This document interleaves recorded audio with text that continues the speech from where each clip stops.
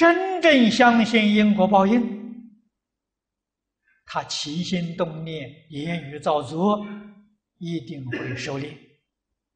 为什么呢？知道果报太可怕，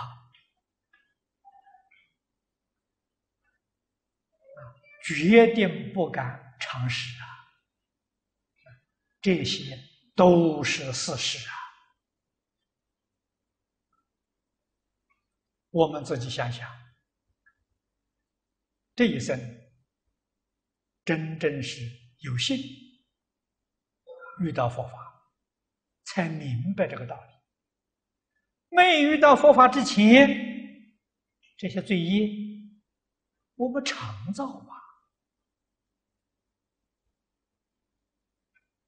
过去生中，我们虽然没有续命通。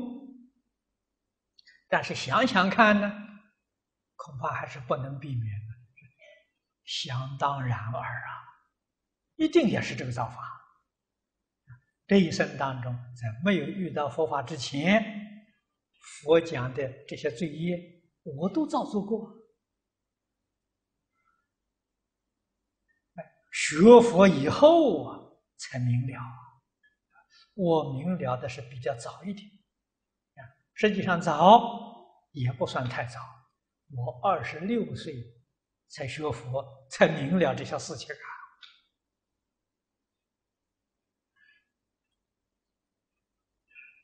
抗战期间，我十几岁，杀业就造得很重啊，喜欢打猎，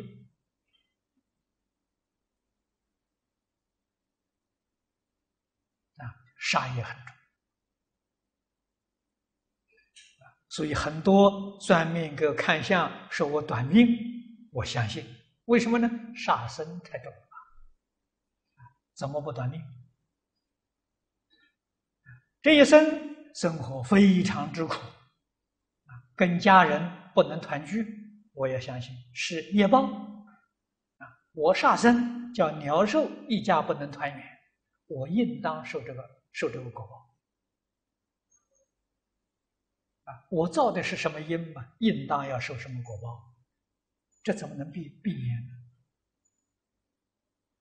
真正懂得之后，佛菩萨救了我们啊，明了事实真相啊，真正改过自新啊，不再为自己了，为佛法，为众生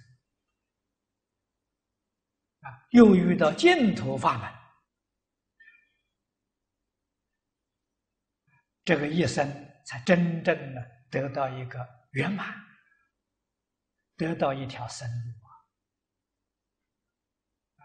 怎么样报佛恩？报众生恩啊！怎么样报以前我们杀害那些众生的过失？